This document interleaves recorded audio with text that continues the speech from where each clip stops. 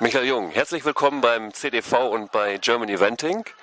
Zwei äh, Zitate vielleicht zur Einstimmung. Ich habe eben mit äh, Christoph Hess gesprochen, der hat sie besonders erwähnt, sagt eine herausragende Runde. Mark Phillips hat in der Pressekonferenz gesagt, das Beste, was ich heute gesehen habe. Was sagt Michael Jung zu Michael Jung und Sam? Ja, also ich glaube, das war auch alles äh, ganz fantastisch. Sam ist immer im Gelände ganz hervorragend. Und hier, das ist schon nochmal eine ganze Ecke schwieriger. Aber er hat mir von Anfang an so ein tolles Gefühl gegeben. Und dann ist man immer Sprung für Sprung, arbeitet man sich dann durch und naja, das war einfach hervorragend. Das war vier Sterne, nicht nur am oberen Limit, sondern so wie Mark Phillips auch sagte, eigentlich haben wir im Nachhinein betrachtet sogar eine Schippe zu viel draufgepackt. Und sie machen so, als wenn sie das jahrelang schon reiten. Ja, also da muss ich nochmal dazu sagen, das Pferd ist auch wirklich einfach genial. Und ich habe den seit äh, fünfjährig, habe den ausgebildet bis jetzt. Jetzt ist er neun, ging jetzt seine erste vier Sterne und ich glaube in dieser Zeit, da wächst man so zusammen und der vertraut mir wirklich bedingungslos. Da kann ich im Prinzip alles mit ihm machen und das funktioniert einfach. Bettina Heu hat mal zu ihrem Verhältnis zu Ringwood Kakadu gesagt, äh, wie so ein altes Ehepaar. Trifft das bei Ihnen dann auch so in ähnlichem zu? Oh, das weiß ich jetzt nicht so genau. Also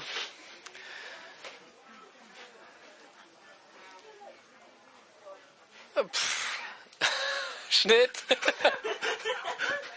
okay, was, wie haben Sie sich denn speziell jetzt auf Lumülen vorbereitet?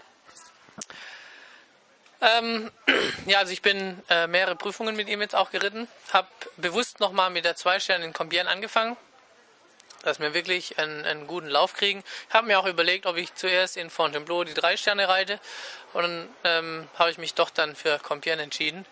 Und ich glaube, im Nachhinein war das auch der richtige Weg, weil ich glaube, gerade in der Vielseitigkeit ist auch wirklich das Vertrauen einfach das Wichtigste.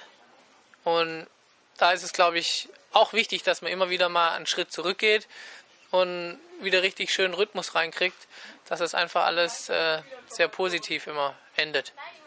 Dann in Wiesbaden die passende Duftmarke gesetzt? Ja, ich bin extra auch nochmal nach Wiesbaden. Vielleicht äh, hätte man sagen können, dass das ein bisschen viel ist ähm, zwei Wochen vor Lumülen nochmal Wiesbaden zu reiten. Aber ich habe es bewusst auch nochmal als äh, Training genommen eigentlich. Und weil da ist auch einfach die Dressur, ist da sehr schwierig, mit sehr viel Atmosphäre. Ein toller Springparcours, wo auch sehr viel zu galoppieren ist, der ist ziemlich groß. Und einfach das Gelände auch nochmal. Es ist ein relativ kurzes Gelände. Und ja, einfach nochmal unter Turnierbedingungen alles nochmal durcharbeiten. Und der Erfolg scheint Ihnen ja recht zu geben. Wenn man so, oder wenn Sie sich den Kurs heute nochmal Revue passieren lassen, alles so gelaufen, wie Sie sich das vorgenommen haben? Ja, also der einzige Moment, wo er mir mal so ein bisschen nach rechts ausgewichen ist, war der Sprung vorm Wasser, vom ersten äh, Milford-Teich. Aber alles andere war wirklich ähm, ja, sensationell.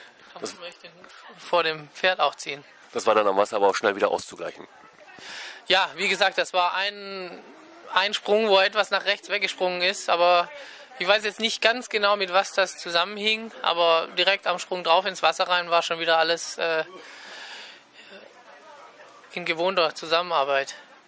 Die Wege, die Sie geritten haben, die Sie gewählt haben, waren das äh, Ihre eigenen Wege oder wer hat Sie beraten und gesagt, versuch's mal da? Gut, ich bin auch äh, mit den Bundestrainern im Vorfeld schon das Gelände abgelaufen und wir haben uns auch überlegt, ob wir am einen oder anderen Sprung dann vielleicht doch die Alternative reiten. Aber gerade Sam hatte noch nie ein Problem im Gelände. Und ich konnte mich eigentlich immer voll auf ihn verlassen. Und so war es dann auch. Also ich bin losgeritten, die Prüfung, und das war einfach der gibt einem ein, so ein sicheres Gefühl und man kann wirklich alles mit ihm machen. Mal etwas rückwärts oder nach vorne ausgleichen, links, rechts. Das ist, er bleibt einfach so auf seiner Linie und weicht keinen Zentimeter aus und deswegen habe ich mich dann auch überall für den direkten Weg entschieden.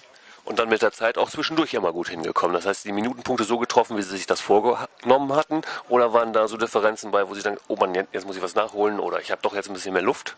Nein, also ich habe nur mal kurz vorm Start nachgefragt ähm, wegen den Minutenpunkten, aber ich habe mir jetzt da nicht so einen riesen Druck gemacht. Ich bin sicherlich vorwärts galoppiert, aber Ich wusste letztendlich dadurch, dass ich ähm, keine Alternativen geritten bin. Der Sam ist eigentlich in der Regel immer ein sehr schnelles Pferd. Und ich habe zwischendurch ihn auch immer wieder mal durchschnaufen lassen, habe äh, ihn immer wieder mal einen Gang ruhiger galoppieren lassen, damit er immer wieder schön kraftvoll an den Sprüngen auch bleibt. Und ja, letztendlich hat er es super hingehauen. Aber Sie sind jetzt nicht ohne Uhr geritten. Nein, nein, also die Uhr hatte ich schon dabei, aber ich habe mich jetzt nicht so unter Zeitdruck gesetzt. Also ich habe jetzt nicht gesagt, ich muss unbedingt jetzt in der Zeit sein, ja. sondern Priorität war erstmal äh, oberste Vorsicht an den Sprüngen. Oberste Vorsicht an den Sprüngen auch für morgen. So ist es, genau, ganz einfach. Wie einfach wird seine Nullrunde zu reiten? Das wird, glaube ich, schwer. Also, wie gesagt, da ist die erste Vier-Sterne-Prüfung auch so ein Parcours. Muss ich erstmal angucken, was da morgen alles aufgebaut wird. In der Regel äh, springt er ganz gut. Jetzt müssen wir einfach mal sehen, wie morgen äh, von uns beiden dann die Verfassung ist und wo, wie das dann alles zusammenpasst. Aber für die Verfassung sehen Sie keine Schwierigkeiten. Sam ist jetzt sehr gut durchs Gelände gekommen und er zeichnet sich nicht ab, dass er irgendwo eine Blessur hat oder so etwas.